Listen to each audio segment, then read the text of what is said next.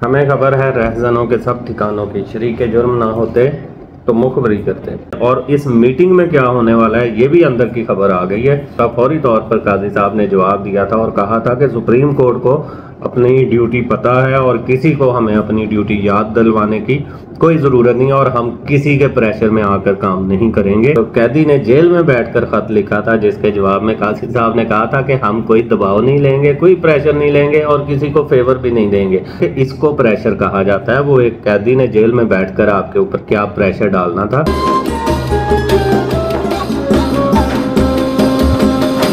हमें खबर है रहजनों के सब ठिकानों की शरीक जुर्म ना होते तो मुखबरी करते। हाँ जी, आज काजी फायज ईसा साहब की शबाज शरीफ, अटॉर्नी जनरल और वज़ीर कानून आज़म तारड़ के साथ मुलाकात होने लगी है, जो उस लेटर के बेनिफिशरी हैं। उस इल्ज़ाम के बेनिफिशरी थे, जो कि कल छः जजेस ने लगाया था। और जो मैटर 19 मई 2023 से काजी फायज ईसा साहब के पास पेंडिंग पड़ा हुआ है और आज वो मंजर आम पर आते ही ये मुलाकात शेड्यूल कर दी गई है और कल फुल कोर्ट कॉन्फ्रेंस तो की है काजी साहब ने, लेकिन उसका भी कोई इन्होंने अलामिया जारी नहीं किया। इसी मीटिंग के शायद तनाजर में और इस मीटिंग में क्या होने वाला है, ये भी अंदर की खबर आ गई है।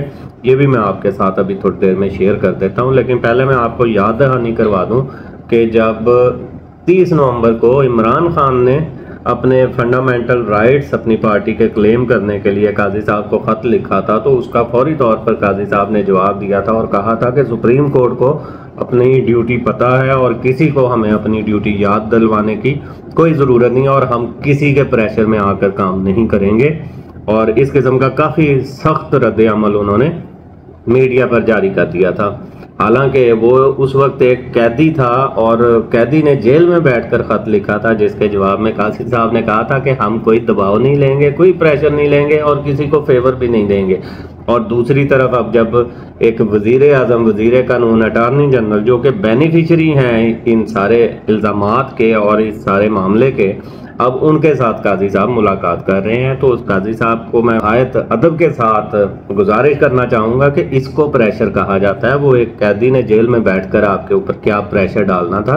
अब जब आप एक वज़ीर अजम वज़ीर कानून और अटारनी जनरल के साथ मुलाकात कर रहे हैं तो दरअसल ये आप प्रेशर में आ रहे हैं और मुलाकात के बारे में अब मेरे पास कोई अथेंटिक खबर नहीं है।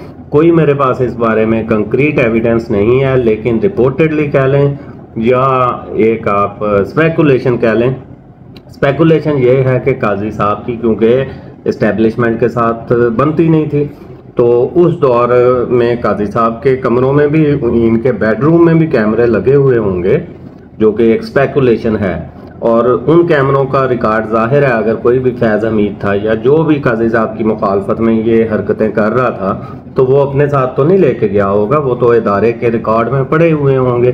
तो अब वही वीडियोस शबाज शरीफ साहब के हाथों काजी साहब के पास पहुंचाई जा रही हैं कि आपकी भी ये वीडियो हमारे पास मौजूद हैं, आपके भी करप्शन के रिकॉर्ड्स हमारे पास मौजूद हैं। तो इसीलिए आप कोई भी इनकलाबी फैसला करने से पहले इन सब चीज़ों को मद्देनज़र रखिएगा।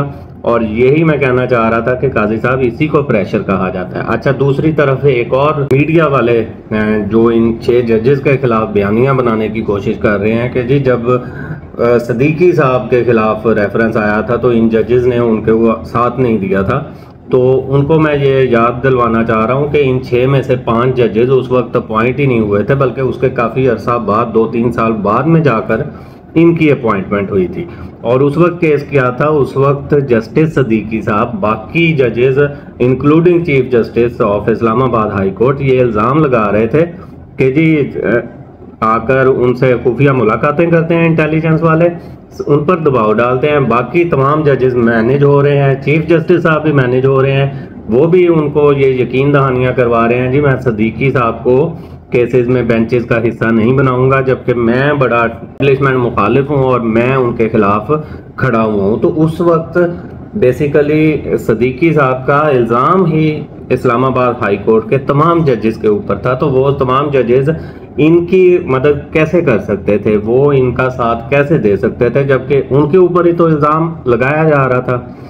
तो ये भी हमें देखना होगा। और इस वक्त क्या है? इस वक्त एक या दो जज एक साइड पर हैं और बाकी पूरा बेंच पूरा इस्लामाबाद हाई कोर्ट यानी छः जजेज एक साइड पर हैं और वो कह, और उन्होंने भी कोई ऐसा इल्ज़ाम तो नहीं लगाया। वो सिर्फ़ एक डायरेक्शन मांग रहे हैं कि अगर, जैसे कि अब कहा जा रहा है पाकिस्तान बार काउंसिल की जानब से भी यही अलामिया जारी किया गया है कि सुप्रीम जुडिशल काउंसिल इंटेलिजेंस अदारों के खिलाफ कार्रवाई का फोरम नहीं है। ये तो जजेस के खिलाफ कार्रवाई करने का फोरम है। तो उसमें, उस खत में अगर आप देखें गौर से तो उसमें यही पूछा जा रहा है।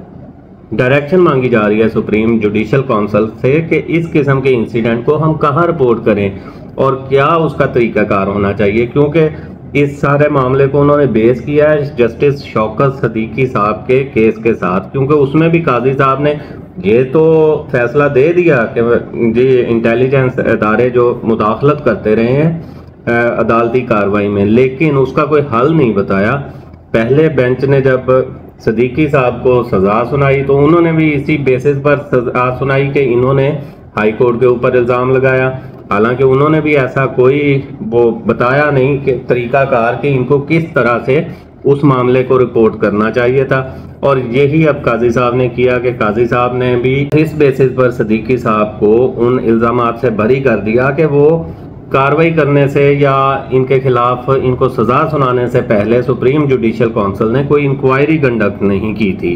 सिर्फ़ इस एक नुक्ते के ऊपर सदीकी साहब को बरी कर दिया गया और बहाल कर दिया गया विद ऑल बेनिफिट्स इसके अलावा सुप्रीम कोर्ट ने इस मामले पर कोई ये रोशनी नहीं डाली कि अगर इस किस्म के मामला किसी जज के साथ हो रहे हैं तो उसने इसको कैसे हैंडल करना है और इसको कहाँ रिपोर्ट करना है? और यही बेसिकली सवाल पूछा गया है सुप्रीम कोर्ट से। लेकिन अब सुप्रीम कोर्ट की फुल कोर्ट को कॉल करने के बावजूद सुप्रीम कोर्ट की तरफ़ से कोई अलामिया का ना आना और अब फौरी तौर पर वज़ीर अजम शहबाज शरीफ, अटॉर्नी जनरल और वज़ीर कानून जो कि डायरेक्टली इसके बेनिफिशरी हैं उनके साथ इस मुलाकात को शेड्यूल कर लेना। बहुत सारे सवाल को जन्म दे रहा है, जिन पर हम आगे नेक्स्ट वीलॉग में बात करते रहेंगे। मिलते हैं नेक्स्ट वीलॉग में, तब तक के लिए इजाज़त दें।